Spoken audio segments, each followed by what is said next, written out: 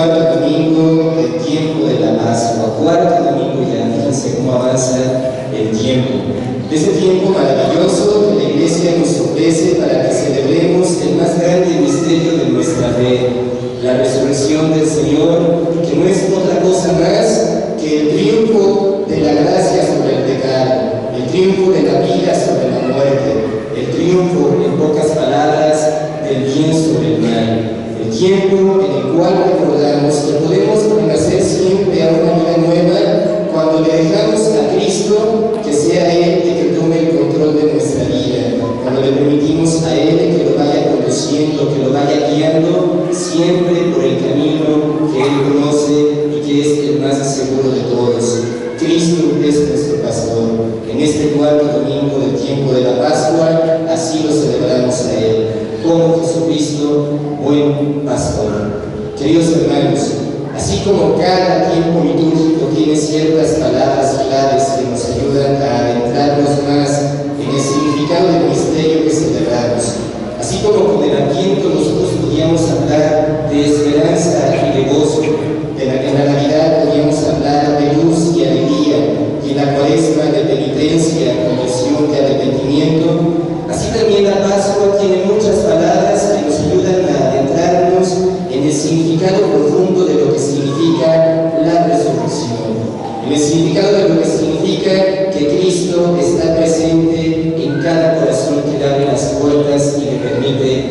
en él.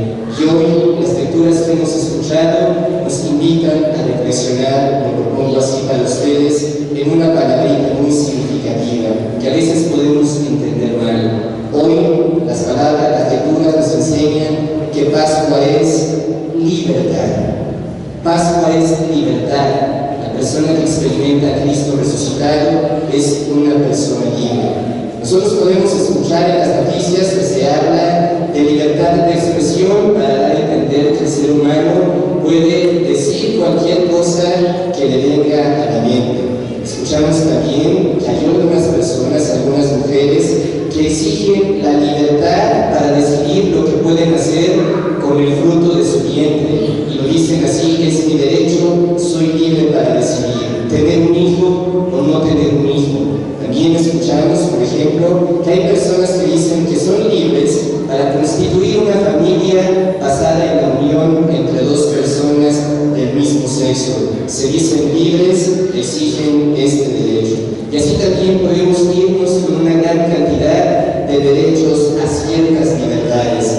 Y la pregunta que debemos hacernos todos y cada uno de nosotros es, bueno, ¿y esto verdaderamente es libertad? Y el católico sabe que desde el punto de vista evangélico eso no se corresponde con la libertad. Y hay que decirlo así, no se es libertad. Es cierto, haces un ejercicio de decisión para decidir si quieres o no perder a tu bebé, pero no eso no te hace una persona completamente libre. Al contrario, te va a hacer una persona esclava del pecado. Y la libertad es precisamente todo lo contrario. La libertad es una capacidad para decidir, pero no solamente para decidir, sino también para decidir responsablemente, y no solo responsablemente, sino también algo más, para elegir siempre lo mejor. ¿Y qué va a ser lo mejor? La presencia de Cristo resucitado en la vida. Ese hecho, elegir a Cristo resucitado, es el ejercicio supremo de la libertad del hombre. Elegir a Cristo no es solamente decirlo con nuestras palabras,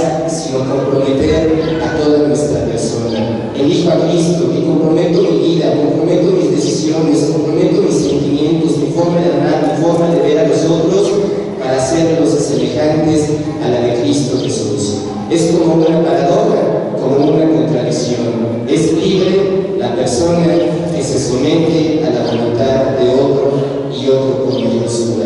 Cuando le permitimos a Él que sea el que tome el control de nuestra vida, que sea nuestro maestro el que nos vaya guiando, ya sabemos que entonces nos podemos mover en libertad, porque guiados con Él, por Él, nunca vamos a equivocarnos.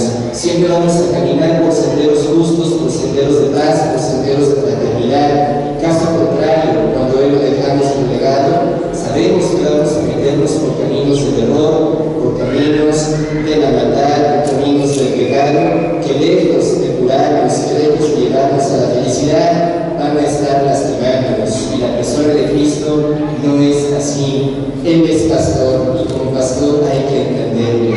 ¿Qué hace un pastor con sus ovejas? Las va cuidando y si alguna se lastima, va, la atiende, la y la lleva a un lugar seguro. Si alguna se pierde, va detrás de ella, dice el Evangelio en otro pasaje, deja las 99 y va en busca de la que se le perdió para tomarla en sus manos y llevarla al corral, allí donde la va a tener siempre con él seguro. Jesucristo es pastor. La persona libre es la persona que dice, yo hago lo que se me antoja. O como dicen los jóvenes, yo hago lo que se me da la gana. Ejercicio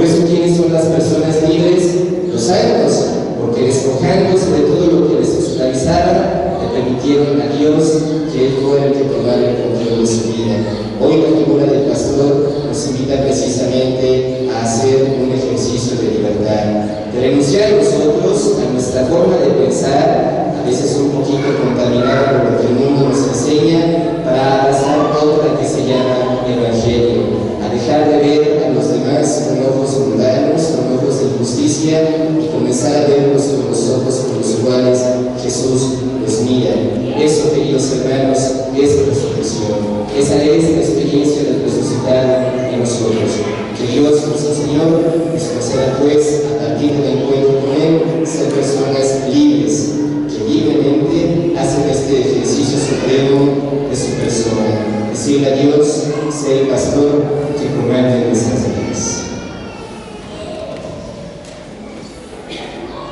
Ahora puedo verte y en tu pecho ardiendo el amor que te llevó a sufrir hasta la muerte, entregándome la vida en una explosión de amor. Aquí estoy, Señor, escucharé tu mensaje que a todos daré. Corazones muertos salvaré y a todos los hombres libraré.